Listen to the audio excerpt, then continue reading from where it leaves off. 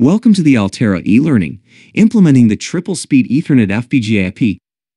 By the end of this training, you will be able to configure the triple speed Ethernet or TSE IP according to your design needs.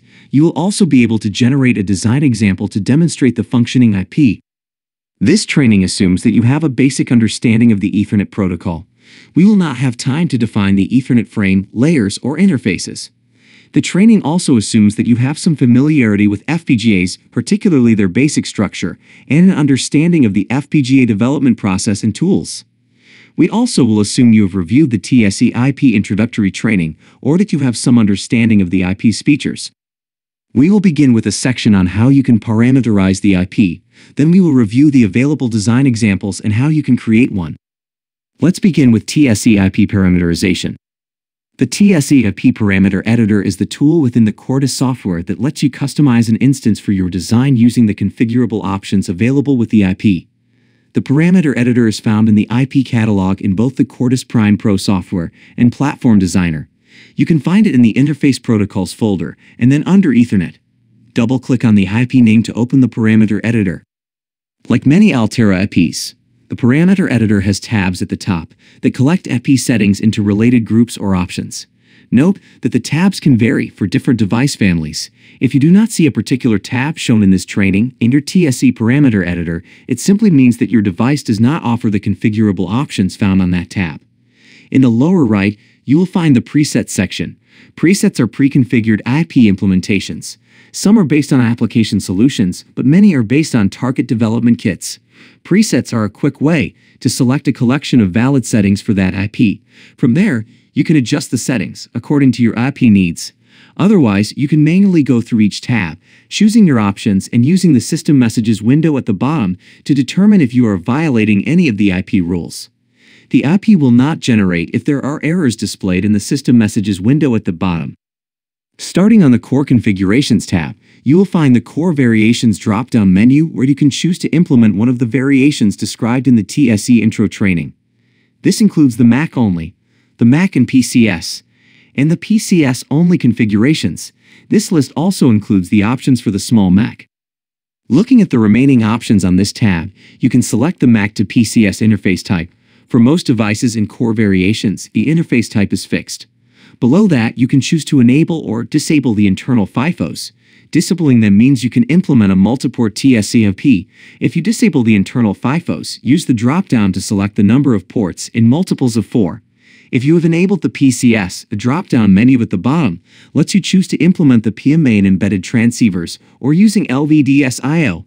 The drop-down menu will only show you the PMA options available for your target device and your configuration of the IP.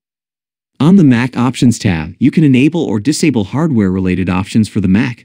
By enabling these options, the hardware resources to support these options are added to the core. You can then control the added logic by means of configuration registers. By disabling any options you don't need, you can reduce the size of your IP. Looking at the options on this page, you can enable or disable Mac loopback support, supplemental Mac unicast addresses to support fast address filtering, statistics counters to monitor traffic using the statistics registers, a multicast hash table to quickly detect and filter multicast packets, VLAN support, and magic packet support. At the very bottom is the option to control an external PHY through an MDIO module. The next tab is the FIFO Options tab. On this tab, you select the width of the FIFO interface to the FPGA fabric, either 8 or 32 bits. Then you choose the depth of the receive and transmit FIFOs, the trade-offs being resource usage versus core throughput. Of course, these options are enabled only if the internal FIFO option is enabled. On the Timestamp Options tab, you can enable timestamping, the PTP1 step clock, and the timestamp fingerprint width. For select devices that support deterministic latency, there is an option to enable that as well. Note that these options will be grayed out unless you are using a core and device that supports IEEE 1588 and if other compatible IP settings are enabled. On the PCS and Transceiver Options tab, at the top you can enable the SGMII adapter logic to support all three Ethernet core speeds, 10, 100, and 1 gig. If you only require gigabit Ethernet, then turning this off will reduce the size of the core. The remaining options on the tab are specific to the target device family. Different FPGA families have different transceivers, so the logic necessary to configure, change, and monitor the transceivers varies. Again, your tab may look different depending on which device you target. This screen capture shows options for Arria 10 and Cyclone 10 FPGAs, as well as E-tiles and F-tiles. These options involve setting up dynamic reconfiguration logic so that gigabit transceivers can be calibrated and modified on the fly. Your version may show options for only one family, or there may be no options at all if the controller is not required. Once you have completed setting the parameters for your instance, then generate the IP instantiated in your design and compile. This is the same flow used in all Altera IP. If you are unaware, the Show Instantiation Template option in the Generate menu gives you an instantiation template you can copy and paste into your source files.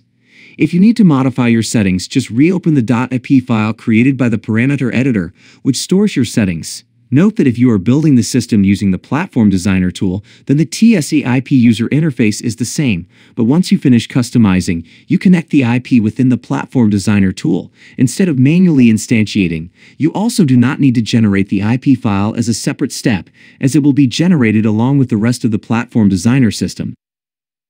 Now that you have learned to configure your IP, let's look at the design examples. If you want a pre-built solution implementing the TSE-IP that you can quickly run in hardware or simulation, generate one of the many TSE design examples. The TSE-IP design examples are a great way to see your IP incorporated into a design application, both to see how it gets connected and to better understand how it functions. The design examples can be used to demonstrate the compile flow so that you can review the IP in various Quartus reports and displays. They can be programmed into a development kit to perform hardware tests. They can be simulated in common FPGA simulation tools. Each design example comes with a detailed user guide, linked on this slide, that includes step-by-step -step instructions on how to generate them. This includes selecting the correct FPGA variation and any key IP settings required for their operation. If you want to go to hardware, the instructions will also tell you which development kit is targeted by the design example. Choosing the development kit means the part number and pin-related assignments will be pre-selected for that board. Otherwise, you can still generate the design example without any specific hardware settings. Use the IP presets to quickly configure the IP parameters with the values matching the design examples. The features of the design examples vary according to the FPGA family. However, each design generally contains a fully implemented TSE IP with MAC and PCS. The MAC may be single port of multiport, and for the PMA, it may use embedded gigabit transceivers or LVDS-IO. Each design example includes a traffic generator connected to the transmit side and a checker connected to the receive side, which validates the data coming back into the IP from over an external loopback. Packet statistics are reported into both transmit and receive MAC registers for access through the IPCSI. The design also includes a JTAG to Avalon bridge. This bridge allows you to access the register space over JTAG using the System Console debugging tool in the Quartus software. The System Console provides an API that you use to compose script files that can dynamically read from and write to the IP registers. You can even create your own interactive display. Altera has done this with a tool we call the Ethernet Toolkit. If you are interested in learning more about the Ethernet Toolkit, there are links available on the resources slide later in this presentation. Here are two block diagrams of design examples. We have the Agilex 5 FPGA design example on the left and the Agilex 7 example on the right. Both use internal FIFOs, but because the PMAs are different, the additional design logic in FPGA fabric varies. The Agilex 5 example uses embedded transceivers for the PMA. The Agilex 7 example uses LVDS I.O. Note there is a separate design example for Agilex 7F tiled devices, which uses embedded transceivers. To create the design example, in the parameter editor, go to the last tab, the Example Design tab. In the first drop-down menu, select the example design you want generated. For some FPGA families, Based on the device you select in your Quartus project, there will be only one choice. Select if you want a design for synthesis only, simulation only, or both. Select the target design language, either Verilog or VHDL. Then select the development kit. Again, choosing a development kit means that the design example will be generated with the right target device, device pins, and any necessary hardware constraints set for you. If you select none, you will still get the design, but you must manually assign pins and set any constraints. Click the Example Design button at the top to generate the hardware project, which would include files for simulation if you enable the option below. Click the Example Design Test Bench button at the top if you only want the functional simulation model and its corresponding test bench. To run the design example in hardware or in simulation, you should follow the instructions in the design example user guide for that particular design example. The instructions can vary depending on your device family and which design example you select. For simulation in general, the design examples are generated with script files that are placed in a directory of your choosing. Locate and run the script file. For hardware, the design examples are generated with a Quartus project. Open the project in Quartus and compile. This will generate the configuration file to load into the FPGA. Some example designs will provide additional scripts to run or tools to use after the device is programmed. This concludes our look at implementing the TSE FPGA IP.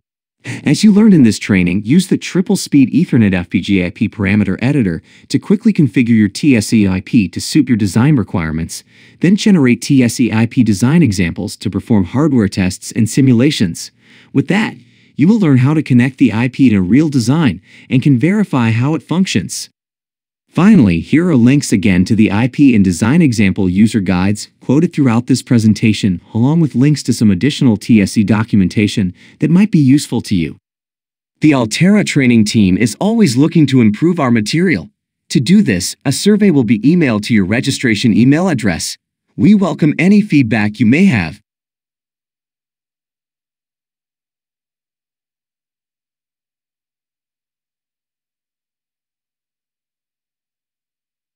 Thank you again for viewing this training.